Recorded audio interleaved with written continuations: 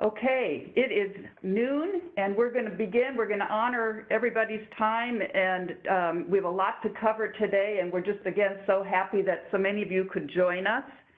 Uh, we are we are a team here at Overlake, but we're we're talking to you from three different locations. We've got Dr. Dave Knoepfler in his office, uh, our CEO Mike Marsh in his, and then the foundation crew in turn in uh, are over here in the foundation offices. This is allowing our speakers to present without masks, and you can get a better look at their handsome faces.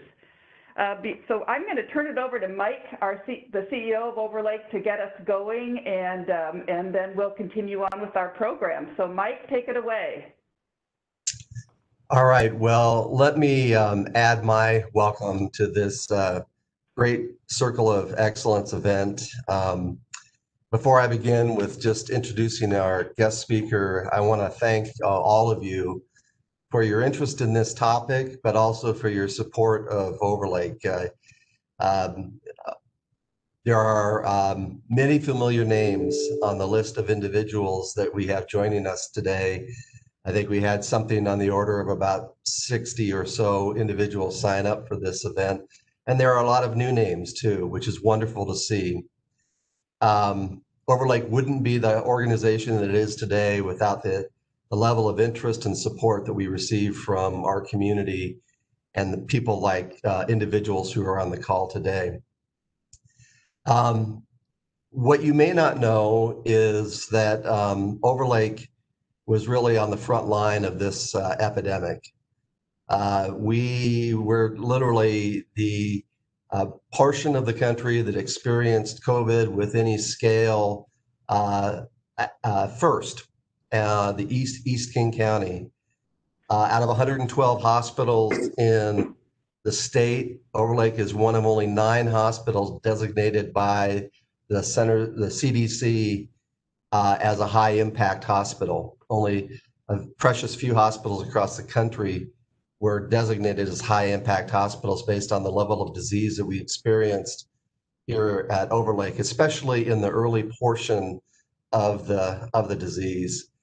Um, you know, the the successes and the teamwork and the change management that we've experienced here has been really uh, in, inspiring. What we've learned over the last six months has made us uh, incredibly prepared if we are to experience a fall and winter surge. Hopefully, we'll be able to talk a little bit about that today. But um, you know, whether we're talking about how we managed our personal protective equipment, the fact that we were one of only four hospitals in the state to set up a molecular lab to improve our supply chain around testing, one of the first hospitals to be in our clinical trial around remdesivir, the support that we've given to our employee health with an infection rate of only 1.3%, uh, which is an incredibly low rate. Uh, 51 employees out of um, 3,200 employees uh, have been infected with COVID. Uh, all of that, we believe, was community acquired,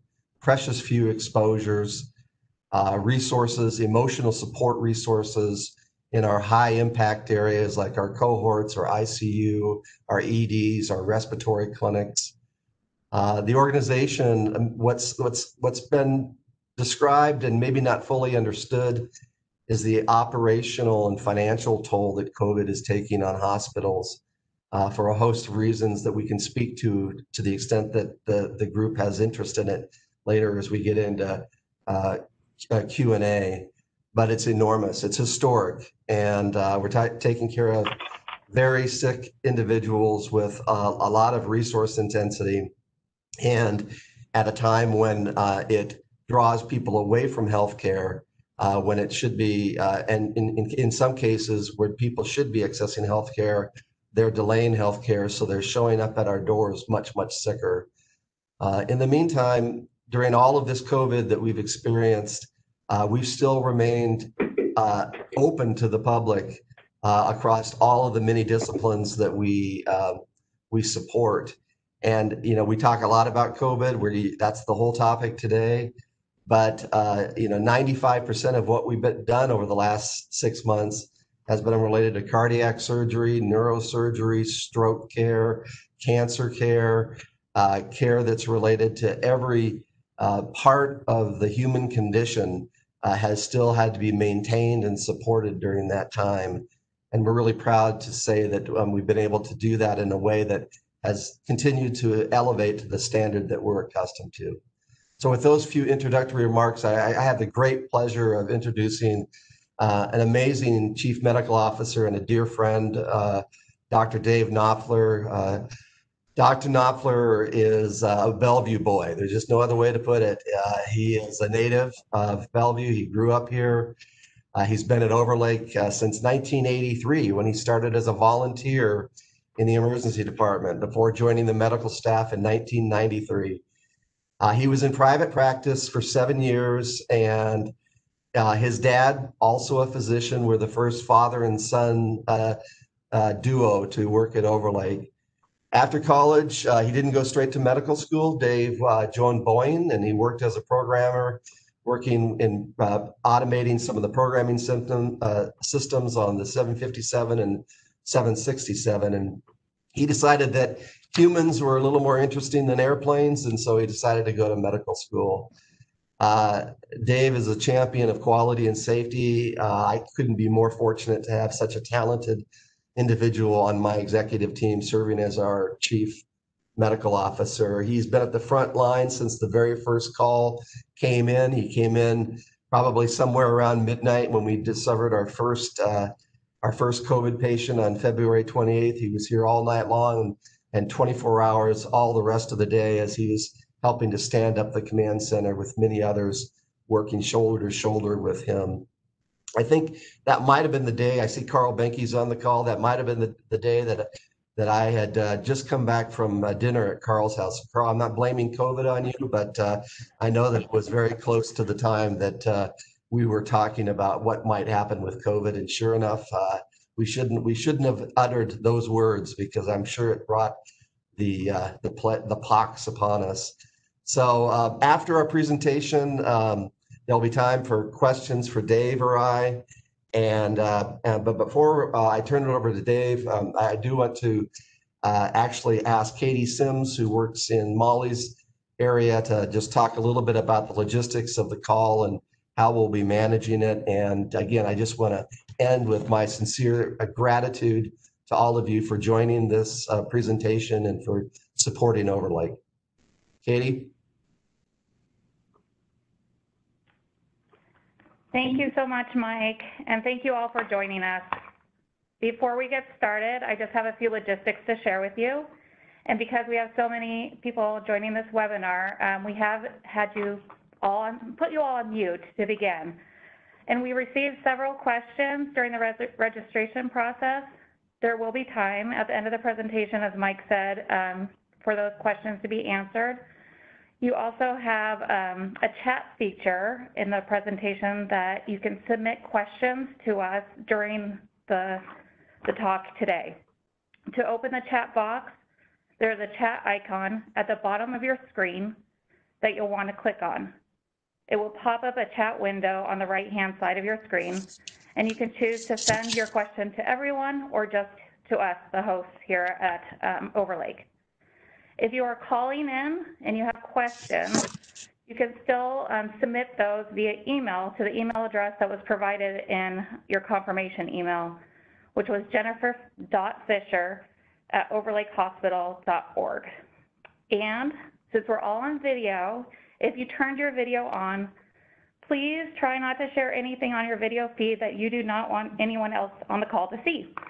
We are just asking that you be mindful of your surroundings um, because we are recording this presentation.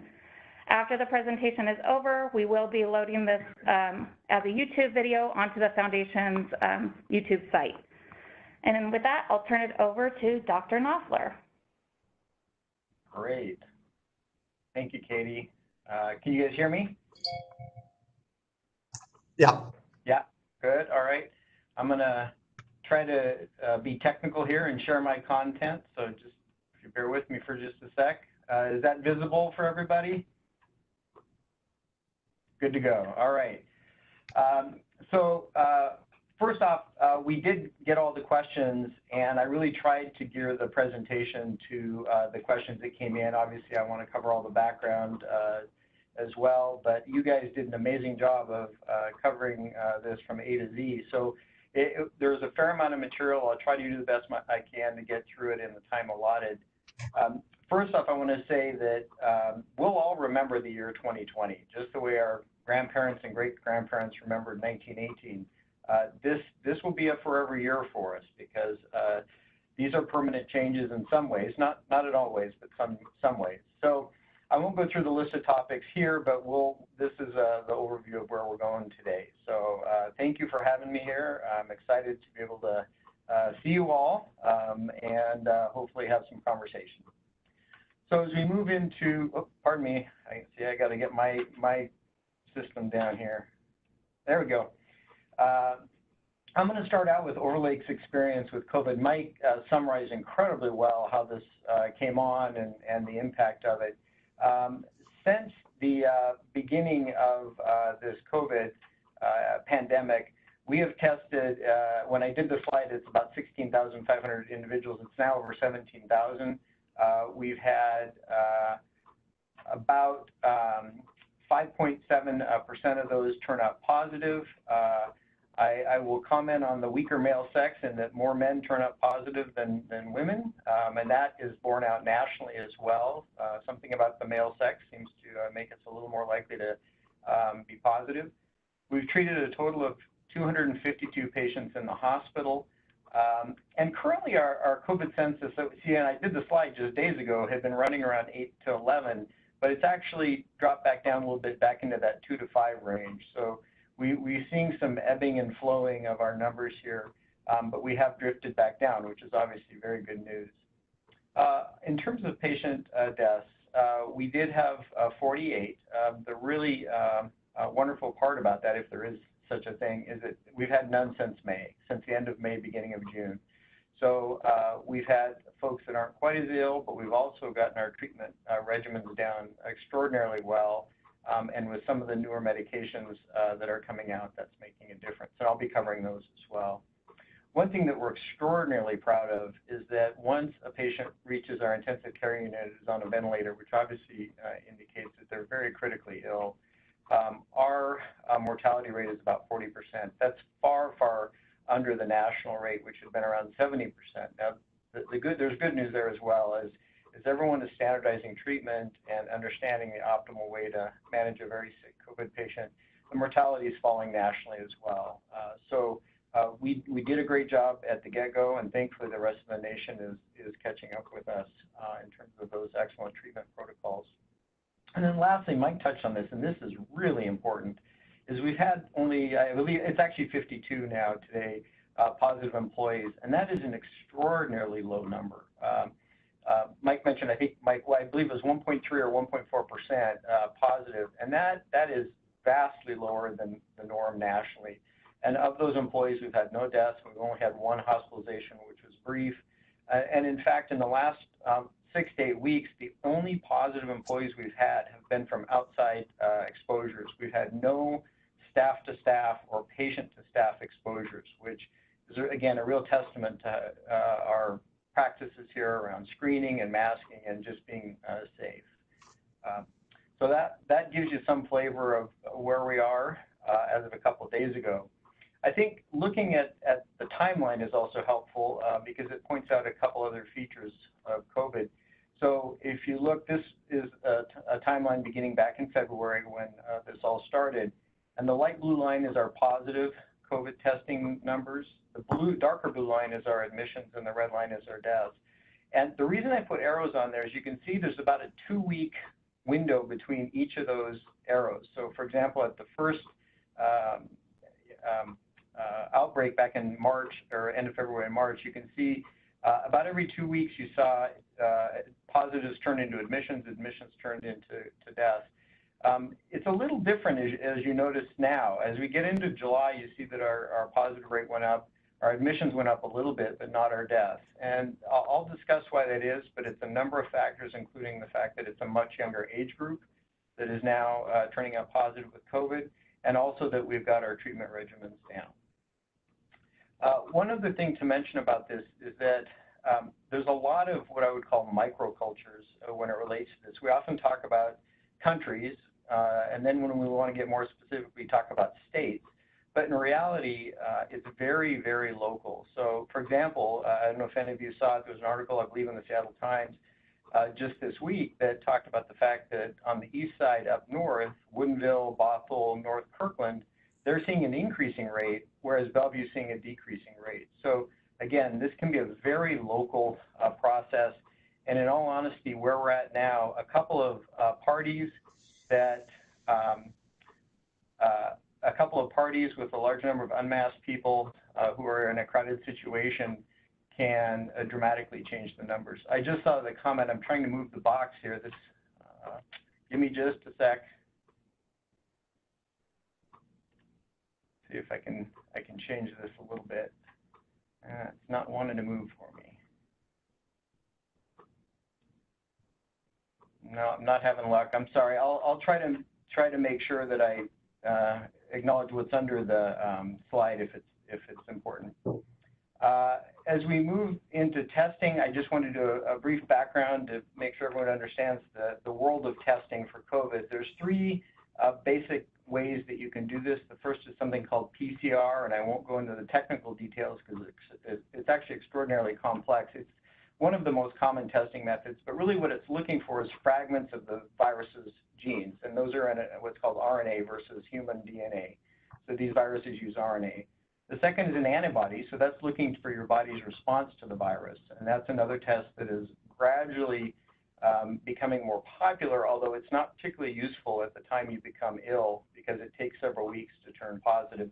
and in some cases there's suspicions in, in certain individuals that may never turn positive or be very weakly positive. And then the last, which is actually the, the real gold standard, is, some, is, is actually culturing live virus. And the unfortunate thing is that's very complex. It takes quite a while to uh, do, and so we don't typically do these cultures uh, unless you're in a research environment. Um, so unlike bacteria, where you can often grow them out in a matter of days, uh, and sometimes even in hours, uh, with viral cultures, it's a very different situation. So then as we look at these tests, we always have to ask ourselves, what, what does it mean? What does a positive test mean? And I put the word sensitivity there, which is really about does this test come up with what's called a false negative? In other words, you have the disease, you do the test, but the test comes up negative. We know that the, the main test that we do, which is the PCR test, is very sensitive. Um, and in fact, when, when it, we do get false negatives, it usually has to do with the technique of collecting the sample, not the test itself.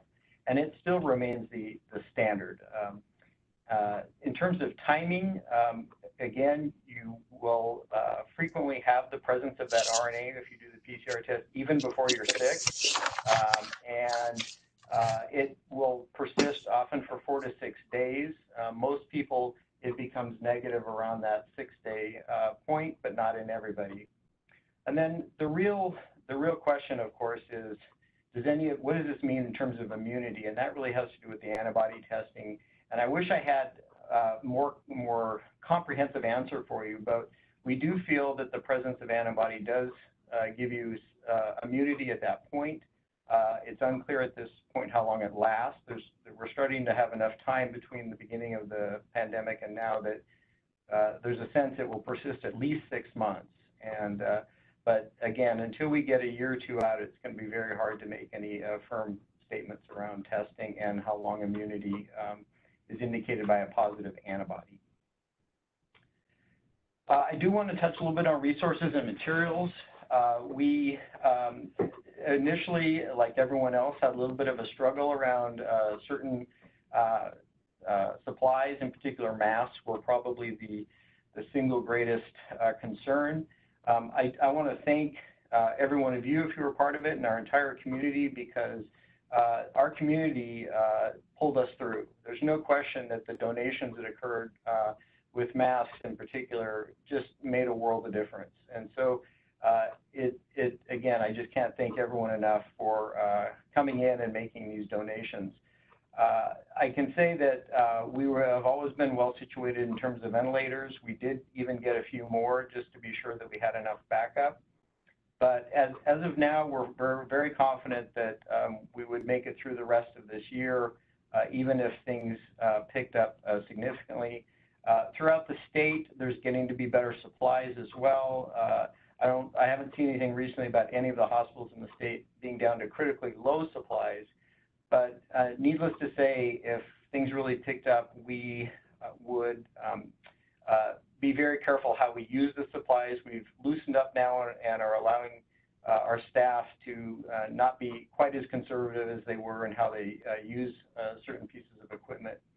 The other thing that has just been wonderful is we have a very inventive and imaginative community with a lot of 3D printing capability. And we had a number of uh, companies locally that diverted their production line and actually began manufacturing supplies for us. This was really most uh, helpful in the area of respirators, um, where we had um, all, sorts of uh, materials uh, produced for us that uh, gave us uh, a really uh, solid supply for the respirators. So that's that's the hard supplies. we can't forget that human resources are critical as well. I put providers and nurses here, but obviously it goes well, you know, way beyond that. you know, everyone at the hospital had had a role in in keeping patients safe, and making sure that uh, we met our, our community obligations. Uh, we did, however, work very hard in the area of uh, physicians and nurses to make sure that we had backup in place, that we had individuals who could cover day and night, um, and that really was a rallying point for, for everybody to step up. And, you know, we had physicians who sometimes had very little presence in the hospital uh, come back and say, I'm willing to help out uh, and um, you know maybe take the, the lower uh, severity illness patients, for example. So uh, it really made a big difference.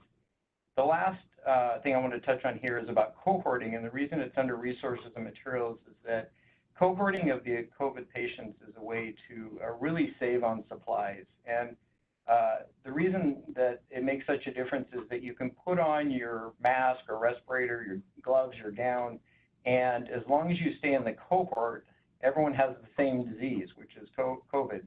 You don't have to change them. Now, you would change them if they ever became soiled or had, had splash on them, but uh, by and large, um, people were able to wear those for most of the day.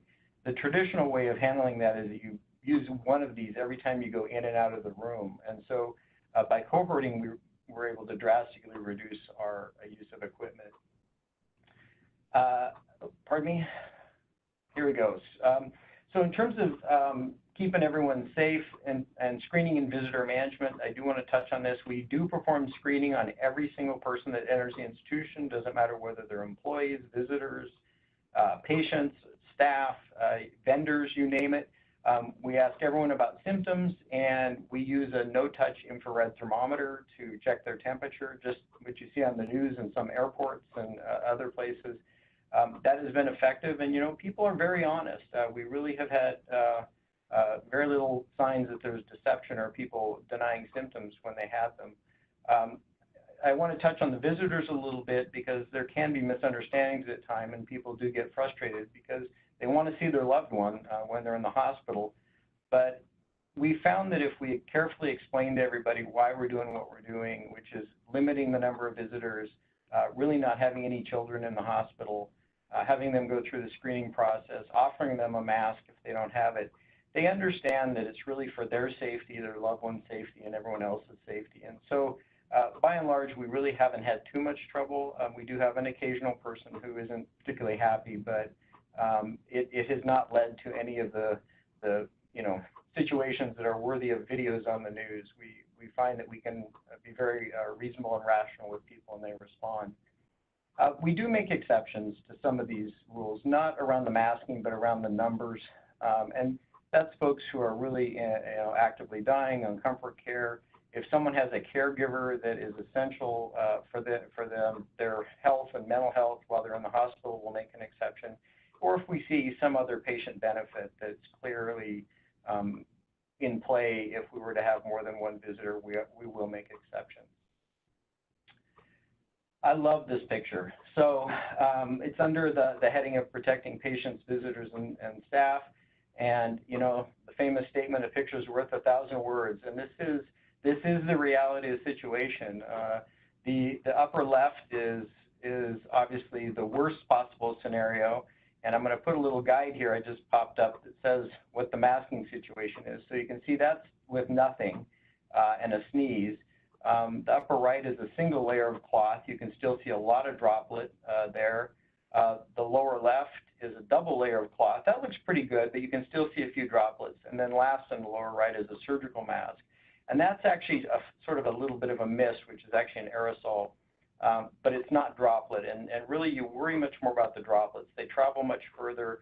And COVID, uh, although there's, there has been controversy at times about droplet versus aerosol, is vastly more likely to be a droplet transmitted uh, organism unless you're in a very confined uh, place. So uh, this, this is a very strong argument, obviously, for um, the use of masks and in particular surgical masks. One other piece of science is, is here, and again, I apologize that uh, we're losing the left upper corner, but don't worry about the pictures. Um, there's so many different types of masking out there, and it you know ranges from the real surgical mask or what's called an N95, which is the gold standard, to bandanas and fleece. Um, but other things fall into this. You know, eye protection is is important, especially if you're in a confined space.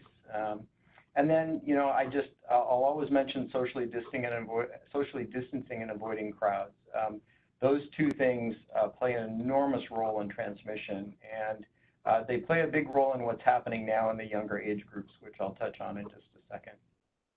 Uh, to give you an idea here too, um, and again, I apologize, you can't quite see the tops of these two right um, uh, bars, but I can tell you that when, when you compare the protection or the number of droplets there are in each of these situations, what you really want to look at is, what I've colored green here, which is these are the masks that clearly give you the most protection. And uh, that's, you know, an N95 fitted, which is, again, the gold standard. Surgical masks do very well. Uh, some of these others are more in the medical world than out, you know, that you'd buy at Home Depot or a pharmacy. But even some of these cotton masks do okay. They're not, they're not as good as a surgical mask, but they're not too bad.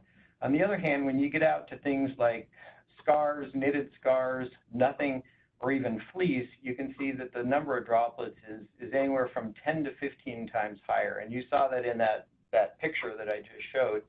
Um, one fascinating piece of this study was that fleece was actually worse than nothing. And what it appears is that these fleece masks actually create even more droplet and aerosol than if you have nothing on.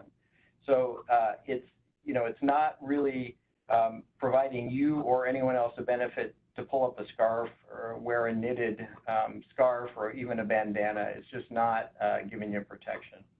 So you can tell I'm clearly advocating for going out and buying surgical masks if you want to be serious about protecting yourself and others. Uh, this, this, I titled it Forecasting Models. There's always a lot of questions about what's going to happen. And um, there's several really good lessons about forecasting in the world of microbiology and disease. And they're very analogous to hurricanes. And uh, what it comes down to is if you rely on one forecast, you're never going to be right. And so what, what we do uh, with this is the exact same do, thing we now do with hurricanes, which is do what are called ensemble forecasts. So you're taking every model that anyone has created and plotting them together. And just like the famous crowdsourcing term that we use for things like if you take 100 people and ask them all to guess someone's weight, the average is almost always spot on. Pretty much you're going to hit, hit it right if you eyeball this and say, ah, it's somewhere in the middle. So on the left here, you see for the entire United States, uh, I did this about a week ago, and you can see that the number of new deaths, if you were to take the most common right in the middle, probably is going to remain about the same. It's, you know, it's probably unlikely, barring something radically changing, to go up dramatically. Unfortunately, you can't see the one under the upper right, but that's all right, the Washington. Um, it's, it's about the same as Florida down here um, in that there's a, wide spread. But again, if you take the average, it looks pretty much like we're going to see the same number of new cases over the next several weeks. Now, what's the problem with models? The problem with models are that you're, you're making assumptions. And that leads into many questions that uh, we got ahead of time around school and university. Uh, right now, it's felt that the, the resumption of school or university um, is probably the biggest variable in this whole predictive uh, uh, process. And Uh, I think, you know, if you've read the news lately, you've seen a couple of universities that have already started, Notre Dame, Maine, University of North Carolina, some of the California schools, where within one to two weeks of bringing students back on campus, they immediately had outbreaks that made them switch back to virtual instruction. And I think that's a, that's a real strong warning of the difficulty with having large numbers of young people in small spaces. University is even more challenging because there's a lot of extracurricular activity. A number of those universities ran into trouble not because of classrooms, but because of uh, parties and other social events that were occurring outside of uh, the instructional um, realm. So uh, I would, based on the models, I would say as long as we're careful about not bringing too many students together, whether that's elementary, junior high, high school, or even university, we'll probably see the number of new deaths roughly stay the same.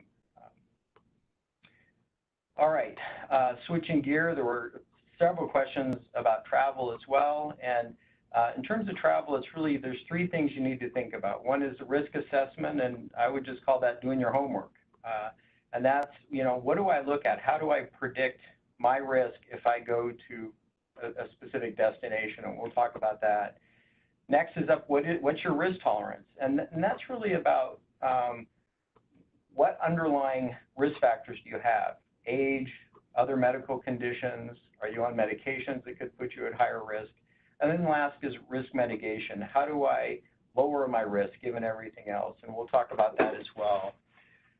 In, in the area of risk, uh, oh, I'm sorry, I started with risk tolerance here. When you think about risk tolerance and, and, uh, and assessment, I guess in this case, um, you know, you need to clearly look at where you're going. So we have, there's a lot of data out on the internet now about uh, the rates of COVID in various countries, if not states, if you're going to stay domestic.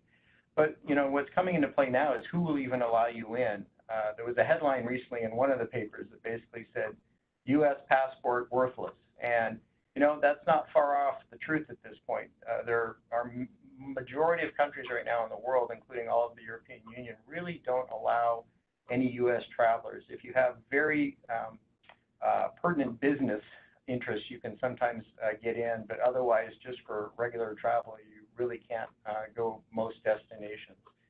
Uh, within the U.S., uh, it's important to assess risk. There are states within the U.S. that probably are as high or higher risk than almost anywhere else in the world right now, and they they do span across the southernmost part of the country. I will say the good news is, especially the last week, that even in those states, the numbers do seem to be uh, going down. Another thing to consider is uh, testing. There, there are uh, states and countries that uh, will allow you to bring a test if it's been done within 48 hours of travel. But uh, what's interesting about that is that you may arrive and still be told no. There's just countless examples of that. In fact, Hawaii for a while said if you have a test within 48 hours and bring it with you, they'll let you in. And we had a number of individuals who said that it didn't work. As soon as I got there, they told me I had to be retested and stay on 14 days of quarantine. So unless you're going to be there longer than 14 days, uh, your vacation was pretty much uh, done for. Uh, let's move a little bit into the assessing risk here. Um, this, I apologize again, this can't be seen real well, but um, what I'm trying to demonstrate here, and I have a couple more graphs that you will be able to see, is that percentage of positive tests, which is the blue line, is really felt to be one of the most predictive uh, factors out there. And this is for the state of Washington. And what you see, you can just barely see the scale on the right, is that our percentage of positive tests is about 5%. If you compare that to California, um, theirs is about 7 or 8%. Obviously, they're doing a lot more testing than us as a big state, but overall, their percentage of positives is only marginally higher than uh, Washington. On the other hand, if you look at Arizona, you can see that their positive test rate is still very high at over 20% and had been almost as high as 30%, which is considered extraordinarily high risk. So I'm, i give this as an example of doing your homework uh, in terms of your intended destination. I would strongly recommend that you look at your destination and try to ascertain uh, what the positive test rate is. That is highly predictive of, of the risk in traveling there. The other thing you can look at is something called R naught. Don't worry about the, the symbol there or the, the, this looks very mathematical. Basically, it's just the reproductive factor, and it's, it's a lot simpler than it seems. all it means is that if you have a reproductive factor of one, it means for every person who gets disease, on average, they transmit it to one person. So anything under one means that the disease is fading away, and anything over one means that it's actually growing. And you can see in Washington that we're just a tad over one. This is a little dated here. It's actually now down closer to one. If we compare ourselves again to California, California, even though they have a fair number of cases, have gotten themselves finally under one, which means that uh, the disease is slowly uh, diminishing. And if you look at Arizona, despite their very high numbers and the positive test rate, they've also gotten themselves down under one, which is a good prognostic factor. So again, these are the types of things you would look at uh, before you travel to uh, assess the risk at your destination. Lastly, there, there is a, an awful lot you can do. And uh, before we even head down the risk mitigation, um, what I like to express is that, you know, the hospital is obviously a place where we have known COVID and we do cohort it, um, but we follow these exact same rules that I have here around what you touch and what you breathe. And as I mentioned, we have not had a single transmission in anyone who is using careful technique and masking um, since the end of May. Um, it's been extraordinarily effective. So in the what you touch category, and again, this isn't just for travel, this can be your day-to-day -day, uh, as well. Clearly, you want to um, do frequent hand washing, keep sanitizer with you in your car, in small bottles wherever you go. It is absolutely worth using. Um, you want to be extraordinarily careful not to touch your eyes, nose, or mouth. Uh, if you're on the plane, obviously, you do want to wipe down the seats and the trays. Those tend to be the two things that people miss. Um, uh, and even I didn't put it here, but seatbelt has been another one that's been identified as frequently missed. Uh, the seats you want to clean. As much as I, I love uh, Alaska Airlines, I'm a huge fan. Um, I, I, don't entirely trust their cleaning process or any other airline, and so I always travel with these uh, bleach wipes. Uh, eating and drinking, in all honesty, in travel, I'd recommend that you don't. I would, if you're gonna, I would bring your own food uh, that's prepackaged and, and avoid anything that they put out for you. Uh, in terms of breathing, as, as I noted in those slides previously, masking is very effective. And the likelihood of you uh, uh, contracting COVID, unless the person's in the middle seat, which is my bullet two down, um, right next to you is very low if you properly mask and leave your mask on during the trip. So again, I can't stress strongly enough how important it is to use your mask. I do want to comment on ventilation systems, although my, my oops, excuse me, my experience in the airline industry was back in 1983 when I worked for Boeing.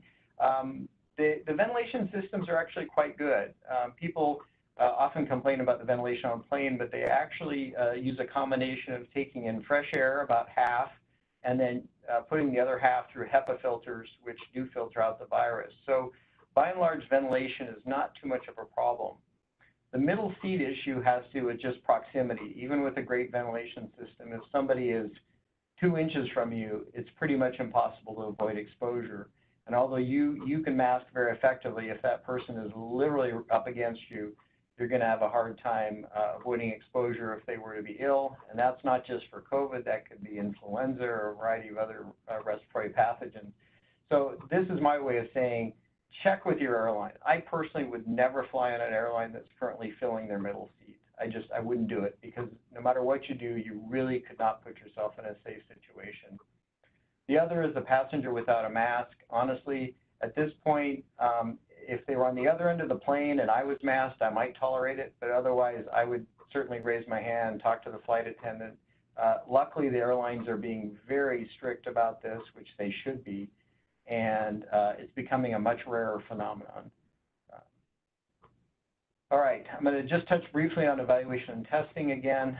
Um, if, you know, certainly you want to get tested if you're symptomatic. There's a lot of people who want to get tested just for the sake of, of getting tested, but um, really, unless you have symptoms or have had what you feel is a clear exposure, the, the test has, has limited use. I mean, we all have this desire to know, but I do want to stress that uh, if you turn up negative on the test and you don't have any symptoms, it's almost no, no value to you whatsoever. Um, what's, what's of value is if you've had a significant exposure, and unfortunately in that scenario, because you won't turn up positive immediately, you almost have to wait uh, four for sure, but even better, six days after the exposure. Um, I have false negatives written here, and again, I, I put that there because I want everyone to know that the process of being tested well, which is what's called the nasopharyngeal swab, is as scary as that picture looks. That is literally how far back that swab goes uh, into your nose. I don't want it to scare you if you need to be tested, but a sample in the front of the nose as of right now, although that's used in some places, is just not anywhere near as accurate as this nasopharyngeal swab. There's other methodologies that are coming online. We're looking at saliva and some other ways, but uh, for now, this is the absolute gold standard. All right, there were lots of questions about treatment, and so I'll spend some time here for sure. I wanted first to do a little bit of a high-level overview. Certainly, there are medications that are uh, what we would call direct antivirals. Um, right now, um, there's only one, and I'll go in detail about that, that really has shown to lead to any improvement at all. Antibodies, obviously your body makes antibodies and um, that is, is ultimately what cures you of any disease is your antibodies and, and the rest of your immune system response. There's what I would call immune system modulators. And what I mean by that right now is mainly steroids. Um, we, uh, again, if you've done any reading or watched any informational shows about COVID, uh, it's as much a disease of your own immune system going awry as it is the actual virus. And so in, in situations where you're very sick, some of these immune system modulators are very important. Uh, it's also disease of blood clots. Uh, and so we have to prevent blood, uh, blood clots but it's through the use of blood thinners. And we do that even 30 days after the illness in very sick people. Uh, and then there's other non, non-medication ways that we treat people. So that's direct treatment. On the prevention side, vaccines, obviously, and, and I got we got the most questions I think about vaccines as any topic, so I'll, I'll spend some time on that as well. And then questions about medications. The only thing I'll say about medications is there are none uh, at this point. Um, we don't have any identified medications that make a difference in terms of prevention. Uh, obviously, for a number of months, there was uh, first some hope and then some misinformation around hydroxychloroquine being uh, effective, but at this point it's very clear it no, not only is it not effective, it's actually dangerous to use. So uh, really the, the future is about vaccines. When we look at specific medications, the one that gets the most press is something called remdesivir. It is an antiviral medication.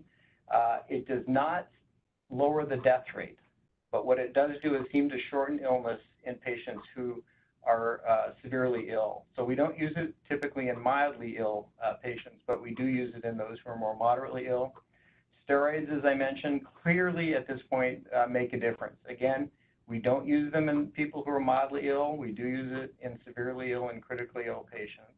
And they do make a difference. And they do actually make a difference in mortality, not just in shortening the disease.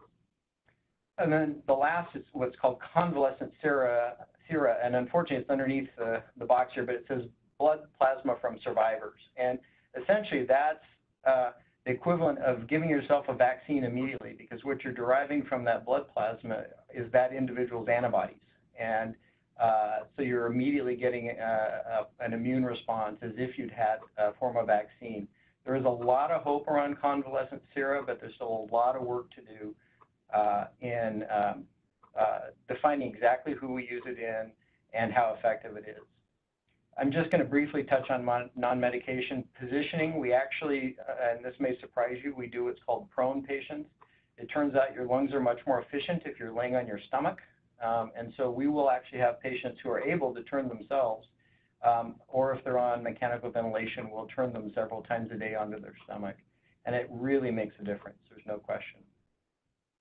Uh, as we look at uh, prevention, uh, the, the, vaccine world is one that literally changes day by day. And I, don't think I made this slide more than a week ago. And we've already gone from more than 100 vaccines to over 170. So that tells you how fast this is increasing. In addition, I said a week ago about four are closer than the rest, moving to phase three, which is what's under the box.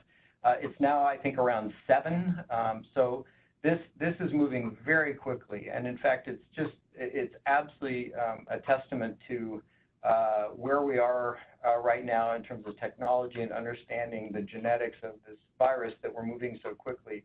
The fastest vaccine that ever had been developed was for mumps, which was actually a pretty straightforward vaccine back in the 60s. Uh, many of us are old enough to remember that. Um, and it took four years. Um, you know, on the other hand, HIV, it's been 36 years and we still don't have a vaccine. It is almost for certain that we will have a, vaccine available, at least in limited form, within six months to a year, uh, which is just astounding. There's never been a production that's occurred so quickly. And uh, I just want to spend a second about the, the, vaccines because every one of them is a little different. Um, and I think that's one of the challenging uh, pieces in this is that you're not comparing two vaccines that use the same mechanism against one another. You're comparing vaccines that use completely different methods, and that's going to actually make it a little more challenging to pick out the best or the best couple. I put the picture of the virus here on the lower right because you see these little red, what are called spike proteins. One thing uh, that is consistent, however, is that every one of these vaccines is geared towards those spike proteins in some fashion uh, because they are what allow the virus to attach and enter your body. Uh, what's fascinating about the vaccine world is, is how they achieve that. And it can be something as simple as the old-fashioned method. So, for example, polio, well, polio in particular is, is an inactivated or really weakened virus. And so uh, this coronavac, which is on here, it says dead inactivated virus, is using the old tried and true method of taking coronavirus, inactivating it, and then injecting it so that you mount an immune response. That actually turns out, unfortunately, to be very difficult to manufacture. And so it's not one of the ones that people have the most optimism about.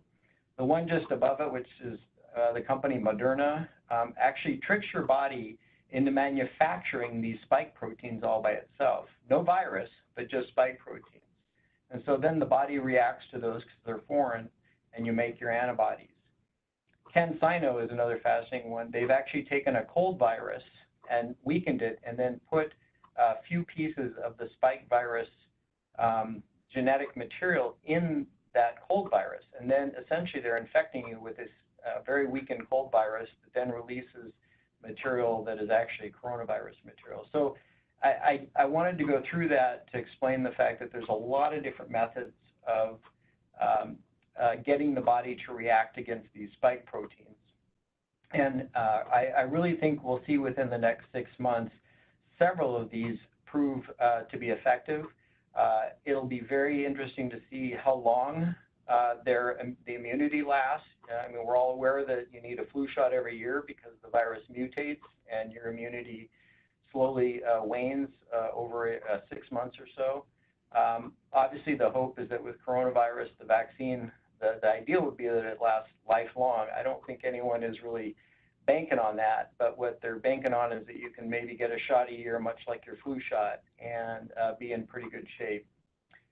The other things that come into play, though, are clearly manufacturing and cost. Uh, very few things that uh, come up in the world of medicine these days are low cost. And so uh, it's going to be very important that this be affordable last topic, because we're running out of time, I, but I do want to touch on this, is pediatric COVID-19 or, or, obviously COVID in children, and that's becoming the headline uh, literally almost daily. Um, in the first two weeks of August, which is what it says under the box here, there were over 100,000 children that became positive. It is unquestionably true, and we know this now, that children are contagious. In fact, there was a study that came out yesterday saying that they actually have higher, uh, what's called titers of virus than even a, a critically ill adult. So although kids may show almost no symptoms, they have a very large amount of virus that they can spread. Uh, unfortunately, even though children are far less likely to get sick or very sick, there have been a, a, huge increase in hospitalizations in children. Of the kids who end up in the hospital, one in three end up admitted to the intensive care unit. And the last thing, which is really um, the disaster for kids in particular, is that uh, COVID, as I mentioned, isn't just a disease of the lungs or respiratory tract, it's your blood vessels. And kids get this very terrible uh, inflammatory disorder of their blood vessels, which uh, can be fatal. Uh, this, unfortunately, this is the one slide I really want to see if I can, if I can get this visible. Uh, let me see if I can do this here. Uh, hang on, give me just a second. Um, what, you're looking at here is time across the bottom and then age group going up. And I know it's, I apologize, it's very difficult to see. But what you see here in Florida is that the, the illness, COVID started really in Florida in the young age group and then spread to the older age. Uh, what you're seeing in Washington is our initial outbreak back in, in March up there at the top in the older age group. But what you're seeing is the, the outbreak currently being in this lower age group. And what we know, especially even in King County, is that um, it's really the under 50 year olds that are accounting for virtually all the increase in rate. Uh, everyone over the age of 50 and definitely over 60 is being very careful. There doesn't seem to be any increase in transmission. So when, when you're hearing the news stories about an increased rate, you're really talking about those under 50. But what we do know is that that spreads because it, you know, people at home aren't as careful. They don't mask at home, so it spreads to family. Same thing can occur at work and in other environments.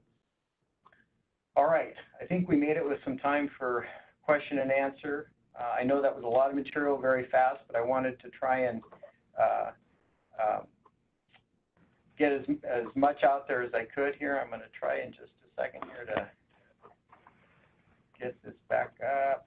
Hang on. No, no.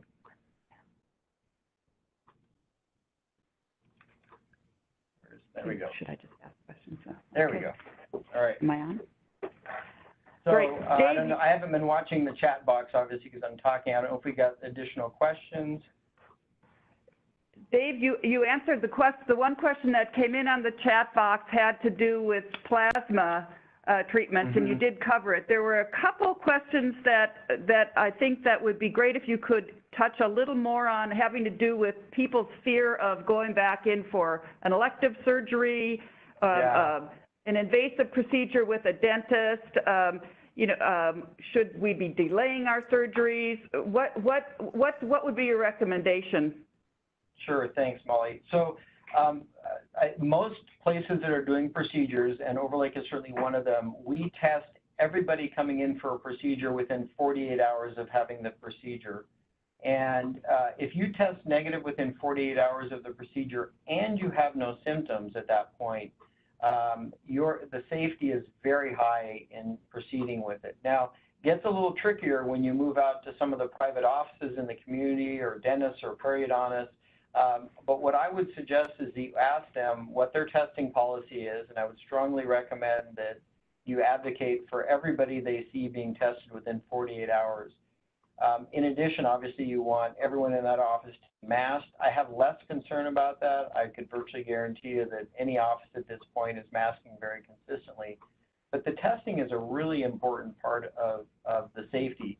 And so, uh, again, I would really advocate strongly for uh, asking uh, whoever, you know, whether it's a surgeon, a dentist, a periodontist, what their policy is.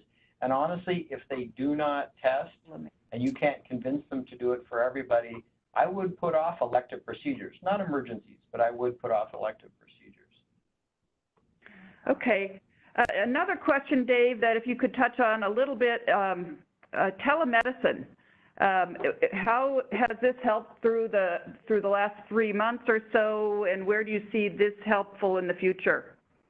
Sure.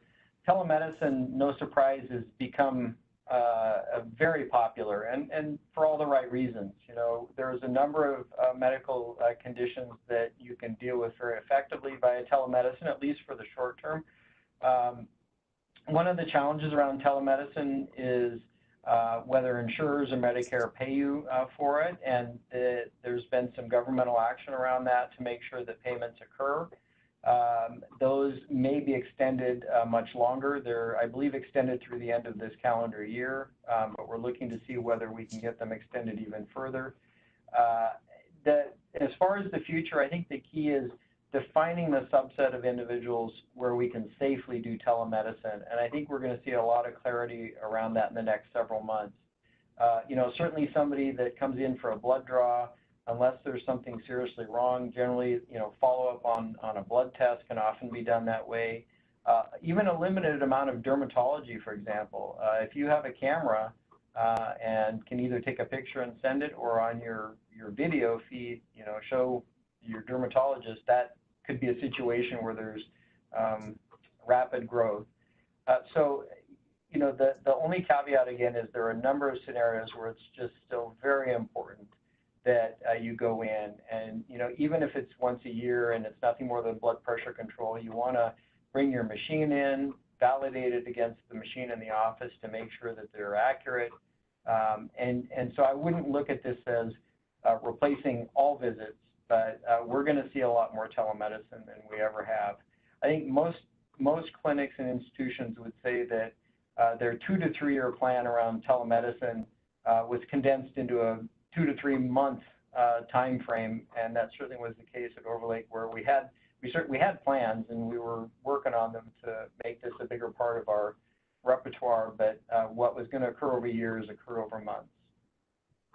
That was, a- that was agility in action, one of our values. Yeah, Uh, absolutely. This one, this, this question may be more for Mike. We might be able to give you a break, Dave, for a minute. How is the effect, the pandemic affecting the, the financial situation, the bottom line here at Overlake? Well, to give you some perspective, uh, um, we've had uh, about $15 million worth of uh, unreimbursed costs associated with supporting COVID patients, protecting visitors, and protecting our staff. Um, some of that, probably a small fraction, unfortunately, might be reimbursed by FEMA. We will be, we're working actively with FEMA. We were actually the first hospital in the state to get in our FEMA, get in the FEMA line with our, our first tranche of requests. Um, we haven't received anything, uh, nor do we expect to receive anything for many, many months. But in addition to that, uh, you know, so that's that's new. Those are real costs. Those are unreimbursed costs. That's a significant amount of money. Uh, that won't be the same rate we hope over the next six months, but um, it's it's a big number. But the even bigger number was when the governor chose to shut down non-urgent procedures. Uh, non-urgent procedures uh, represented for that uh, two and a half month, almost three month shutdown uh, represented uh, probably about uh, not probably um, between 40 and 50 million dollars worth of lost revenue some of that revenue has come back in terms of pent up demand, but some of that revenue will will never come back. And so, while you might think, well, just lower your expense base to cover that lost revenue, unfortunately, because at that time we had the greatest amount of sickness in the organization, uh, you know, we had to uh, maintain our staffing levels to support um, all of those uh, very sick COVID patients who consume an enormous amount of resources. Having said that, Overlake is very fortunate to be uh, a, um, a, a more financially um, resilient uh, organization than uh, some other hospitals in the state. Uh, I think it was reported to me that uh, 10 hospitals just recently reported to the governor's office that they have less than 40 days of cash uh, when you're in an environment like that and you're experiencing the kinds of um, impact, financial impact, you can imagine how frightening that might be for that community. Overlake, fortunately, is not anywhere near those circumstances. And so we have the capacity to weather through uh, this uh, very historic um, uh, event, which has very historic implications to our financial conditions. We did furlough employees, uh, employees who were less busy, uh, were not critical, essential uh, during the heaviest portion.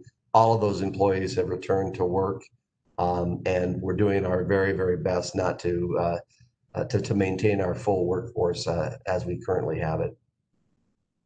Okay, thank you, Mike. One final question before we wrap up, and it's about flu season. Dave, you're back on. How do you expect Okay. the flu season to impact COVID incidence rates?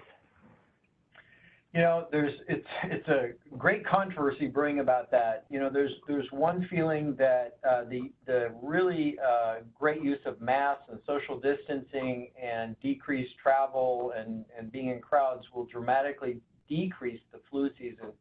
The the concern is really about uh, a couple things. One would be getting both, simultaneously, which the feeling is could be, you know, essentially a fatal combination.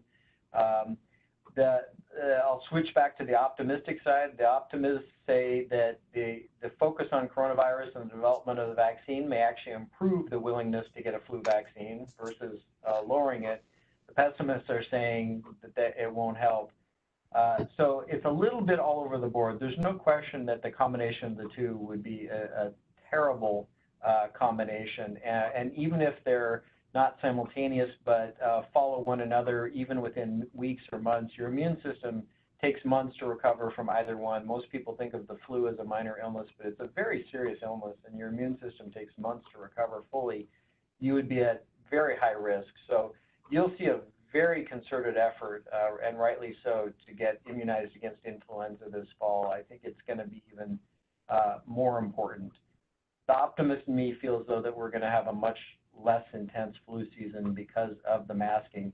And indeed, Australia has already uh, started their flu season and, and, may even be through it, and it was very mild. So if you're looking to Australia as a harbinger of what's coming, that that is a good omen. Uh, can you comment on the drop in mortality rates? We are this one just this question just came in. Um, sure. You know, the, feeling about that is that it's a combination uh, of both the fact that we're getting our treatment regimens down, we know how to treat patients optimally, we know how to treat them in the intensive care unit, we've got a few medications in, hand that uh, calm the immune system in the most seriously ill. But equally important is the fact that uh, COVID has switched to a much younger age group, and the folks that are high risk due to any cause, whether it's age or not, have been very careful. As I mentioned, when we look at the numbers uh, locally, um, we're seeing no increase whatsoever in the rate among those over 50 or 60. It's 100% in the younger age group. Uh, so it's probably a combination of both. Very interesting, because I think we all do read a lot about that. Well, we want to be mindful of time on this end too, and and um, and just thank everybody. Thank you, Dave, so much. Uh, fascinating presentation. Mike, thank you, and thanks to all of you uh, donors and corporate partners who are here um, joining us virtually. You are what helps us provide world-class care, the kind of care that we have been proud to be providing over the last few months, for sure. So thank you again. We want to continue to offer this type of informational opportunity for you to learn more about what's going on in terms of healthcare and related topics to Overlake. Uh, please, there'll be a survey that will, you'll get in your email box very shortly. Please let us know, A, if there are any questions that you want answers to that we didn't get to, and B, uh, topics that would be of interest for you so that we can uh, provide that type of information to you going forward. Um, you, uh, as Katie mentioned, there, this will be available on YouTube, this presentation. Send it around to others. This is great information. The more we all understand in the community, the better we'll be. Uh, we'll also send the deck around um, if, for, for anyone who wants it. So please let us know at the foundation if you're interested in seeing the hard copy of the, of the PowerPoint that Dave spoke from. So thanks again, everybody. Uh, and again, thanks, Dave. Thanks, Mike, and all of you for helping, helping us do what we do here on the East Side. Have a great weekend and, and goodbye.